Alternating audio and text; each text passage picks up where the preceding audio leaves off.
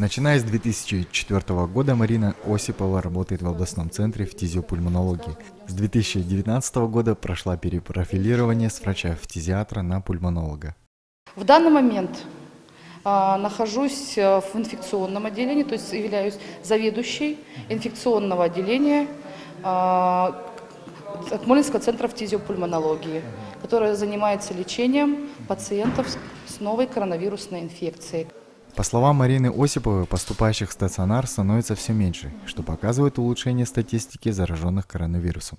В нашей бригаде а, а, а, работает 71 сотрудник, из них 7 врачей, в том числе 3 врача-реаниматолога и я, 27 сотрудников среднего медицинского звена, то есть медсестер и медбратьев, и 40 младший персонал санитарчики, санитары, которые обеспечивают уход за данными пациентами.